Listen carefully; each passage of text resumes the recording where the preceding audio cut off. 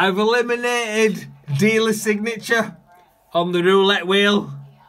Eliminated it. And I've also eliminated, pretty much not too far off, eliminated progressions, martingales using insurance bets. So I've eliminated um, dealer signature. I'll show you how I've done it. Watch. Spin that motherfucker. Watch. Elimination for the nation. There's no way that's going to be any signature. There's not in a million years than anything that can catch that signature of that dealer. No way. Not in a, not in a billion years. Not in a billion years. And that's the dealer signature eliminated. Watch me.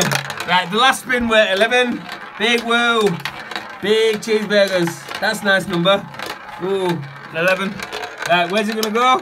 It's probably going to go to the second or third dozen. For some reason, I don't know. It might not, it might do, it might not. But the point of this video is I've eliminated dealer signature.